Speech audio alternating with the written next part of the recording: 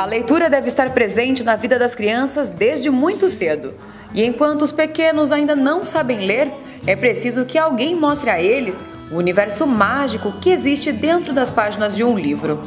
Um mundo de aventuras que só faz sentido quando interpretadas da maneira certa essas histórias que a Carmelina nos, está nos proporcionando é uma história onde o professor ele tem uma interpretação, ele tem este, essa expressão corporal entonação de voz, não é simplesmente leitura.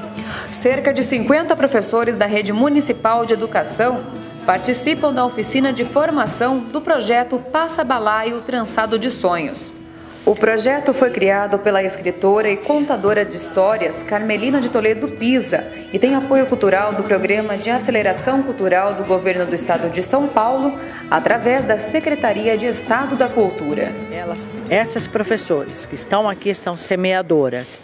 Elas vão semear isso na escola que elas estão, na igreja que ela frequenta, na praça, onde elas quiserem. É a minha proposta desde o início, que eu comecei essa arte, é, é isso. É semear o contador de história. Eu provoco nelas o contador de história interior e elas saem semeando histórias por aí. Além da formação dos educadores, o projeto também conta com a distribuição gratuita da publicação Caju, para os professores e alunos da rede municipal.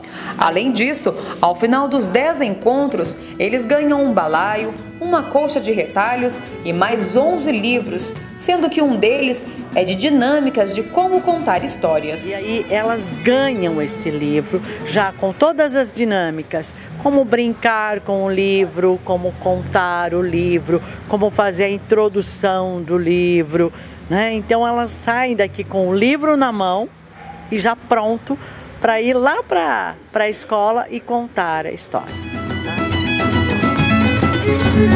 Tá?